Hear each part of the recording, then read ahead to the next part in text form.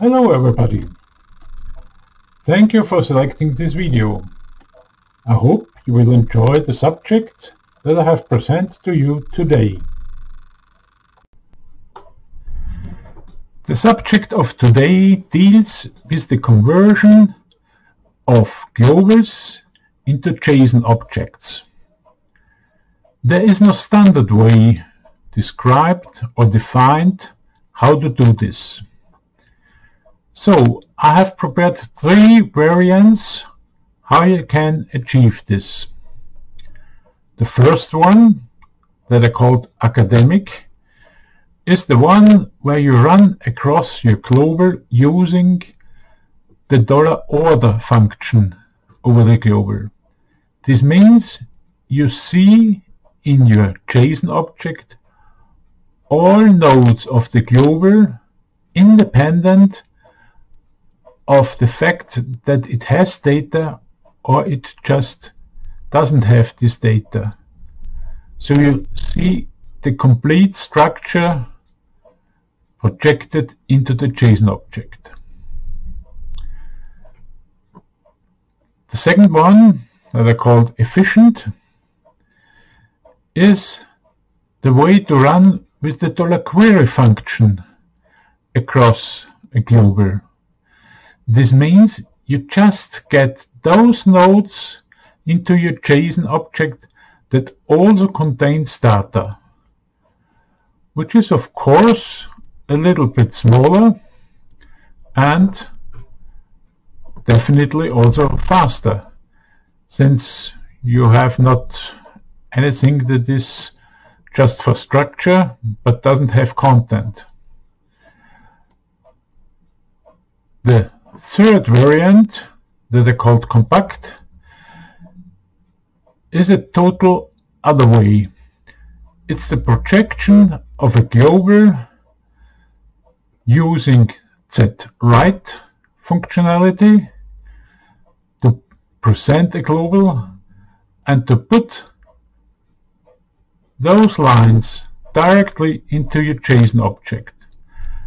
This is very small also the file is rather small and it's very fast to load it again from a JSON object structured in this format. There is a common limit all over these variants. All the projections of the global go into a JSON object, which is basically a string. So this means your JSON object cannot be larger than 3.4 million bytes, which is a limit you have to deal with. Just to be clear about the difference uh, of the various uh, versions, uh, I have drawn here the generic structure of a global. Here, at every node level that has a green dot, it means there are also data connected to it. But there are stru structural nodes, like this one, like this one, that exist logically, but don't contain data. In the academic view, you really go down the road about the full path, go back, go to the next, go to the next, then step along, and so on. So also these nodes that just exist in theory are included in the JSON object. With the other approach, you just store those that have data and just forget about those that have no data. This is the global that I have used as a, an example for uh, the export to the JSON object and uh, you see it's not a straightforward uh, storage structure, a default structure, just with a number of records, the list block that you see here, but also added a JSON object embedded, added some extra nodes to make it a little bit more complicated, to have extra nodes at the end, and to have also various type of uh, data like uh, numeric data, strings. I mentioned already the JSON object and at, at various dimensions.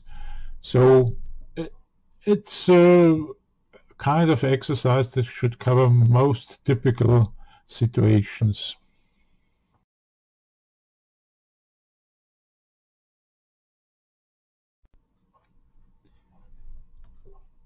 So, and this is the resulting JSON object that we have just generated.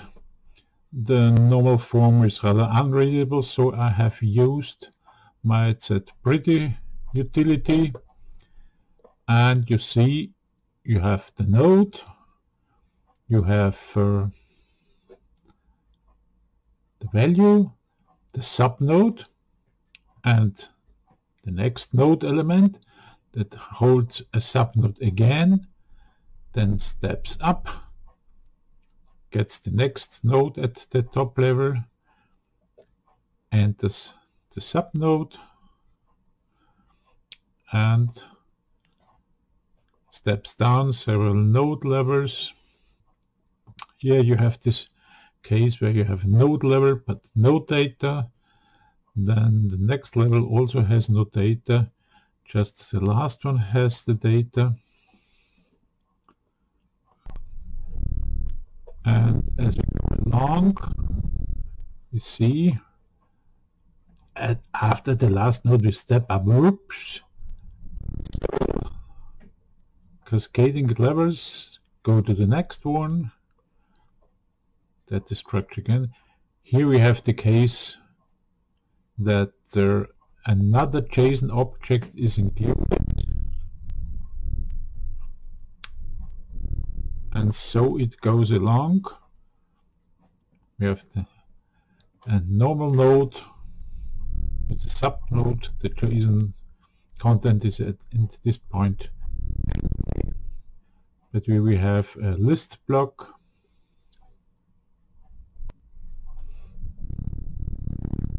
and now as we step down and down and here our somewhat larger JSON object.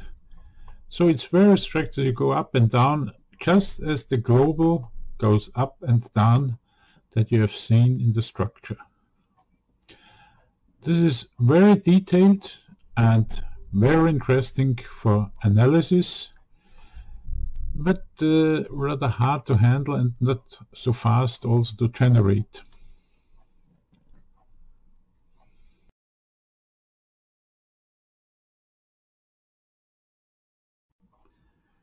Now I step into the next module, the efficient module.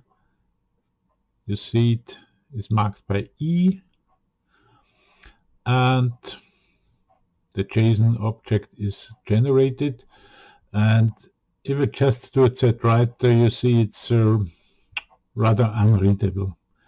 So in order to understand the structure and make it visible uh, I've used again my ZPretty and now you see here we have a structure and this one is now much easier to read.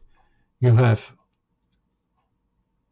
an array, this element, JSON array that has as content JSON objects that are pretty straightforward. A node address and the value. And so you go through this global, have the various steps of, of the element. So it, you are not bound to the structure, but go to the global as you would do with a dollar query. Yeah, we have here numeric value, we have here a JSON object again, uh, a dollar list block structure, and so on. You just run straight through. Well, and that's much easier to read. It's much more efficient, also from the size that you store. And I mention it again, JSON objects in Iris are mainly strings and are bound to the string limits. With, with the 3.4 megabyte maximum size, and that's the point. Okay, and if you load it, it just works. And you generate your node again, your global again,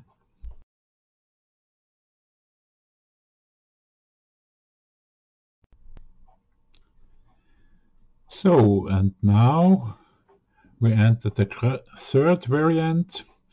It's the compact variant marked by C. You may get a feeling that this JSON object could be slightly smaller than the other two ones before. Well, it's still hard to read. Uh, the evidence shows when we use the ZPretty function and so what you see here is more or less a straightforward ZWRITE of the global. You have the global, you have the full global reference including all subscripts and the value. So there's nothing that could be more easier and especially, and it's easy to guess, the loader is very simple. With a little bit of indirection, this object is very fast loaded into the system where you want to get it and uh, by evidence if you follow the example you see that the global is generated again. So to sum up this uh, presentation, we have seen now three variations of transforming a global into a JSON object. It's now up to your business situation up to your needs, which variant fits best to your needs. The very detailed, as an academic, the very fast one for transfer between iris systems, or a more generic one but the efficient one uh, that you have seen where you just transfer those nodes that really hold data. Okay, this was the video. I hope you enjoyed it. I hope it was interesting to you and I hope you will see me again with my next video on this channel. Goodbye.